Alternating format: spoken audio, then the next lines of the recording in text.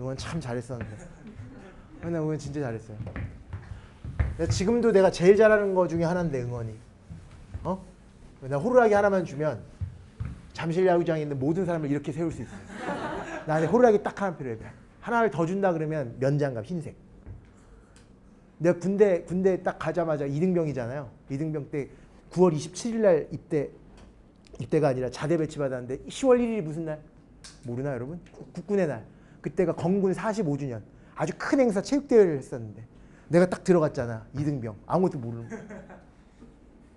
어? 화장실 가도 되나? 막 이러고 있는데 갑자기 거기 그 포, 포대장이라 그러면 무슨 말인지 모르겠고요. 중대장이라는 사람이 나한테 딱 와, 와, 와서 그 하루 종일 저걸 쓰라 그래. 자기 인생을. 하루 종일 왜? 그 안에 얘가 자살할 가능성이 좀 있나?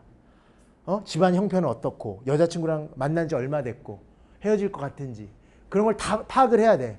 그래서 얘를 분류해요. A급 관심사병, B급 관심사병, C급 관심사병.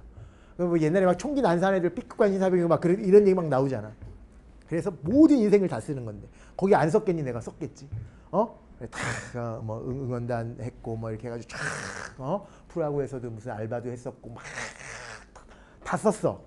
그러니까 다 우리가 응원단을 구성해서 응원상을 타는 게 우리 그 포병 연대 그 연대장님 지시사항인데 응원상을 탈라 그러는데 애들이 지금 짝짝짝짝 이거밖에 못한다 이거야. 아주 그 얘네들을 개조시킬 자신 있냐 이러는 거야.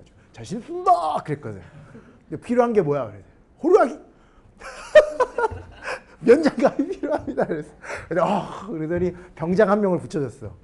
걔- 걔가 부단장, 내가 단장, 나 이등병인데 병장 하나인데 이 병장은 한 달 있다 제대하는 애니까 완전 민간인이야 거의. 아주 야 너 나랑 동갑이야 이러면서 오더라고. 내가 늦게 갔거든요 군대를. 2년 늦게 갔으니까 나랑 동갑이더라고. 다너 필요한 게 뭐야 그래가지고 딱 이거- 그랬었던 기억이 나네요. 어? 아, 참 즐거웠었는데 그래서 우리가 상 탔었어요 그때. 집체 교육 그래가지고 내가 그때 3일 동안 어떻게 하는지 아니 여러분?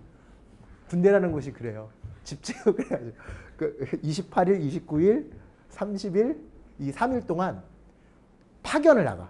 우리 체육관 하나에다가 체육관 하나에다가 얘네들은 여기서 밥을 먹고 여기서 잠을 자고 여기서 아예 다 해.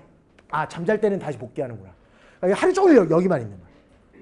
아주 하루 종일 우리 응원했어. 하루 종일 호랑이 날 하루 종일 호랑이 불고 딱 어, 음악만 나오면 이제 한 3일째 되는 날은 음악 딱 나오면 애들이 대형을 딱 갖춰가지고 어 딱딱딱 이렇게 딱 하고 막 그랬었어.